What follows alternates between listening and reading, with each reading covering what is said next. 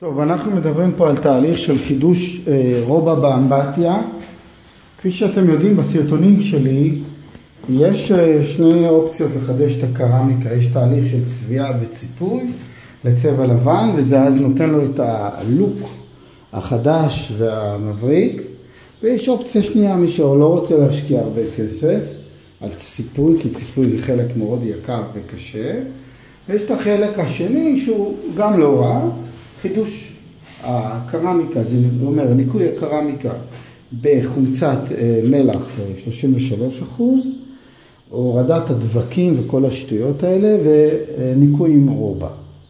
ואז הקרמיקה תיראה הרבה יותר אה, נקי, אה, הפוגות ייראו קצת יותר לבנות ונקיות, כמו פה וכולי, וכאן וכאן, ייראה נקי.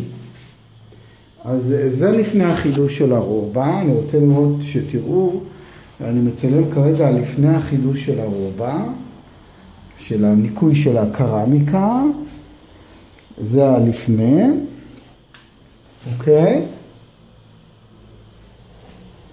ועוד מעט אתם תראו את החלק שאחרי, תראו הכל פה שחור, הכל ממש לא נראה טוב. גם בחלל של השירותים צריך לחדש את הרובע. בואו נראה את החלל של השירותים. נדליק פה את האור. זה החלל של השירותים. צריך לשים את הנייר הזה, את כל השטויות ששמו פה, ולחדש פה את, ה, את החלל של השירותים, גם בניקיון וברובע. ויש פה עוד קיר אחד קטן ועוד פה קיר אחד קטן. טוב, זה לפני הניקוי, ואנחנו נראה לכם תמונות. עוד מעט אתם תראו תמונות או סרטון אחרי הניקוי והחידוש שלו. תודה.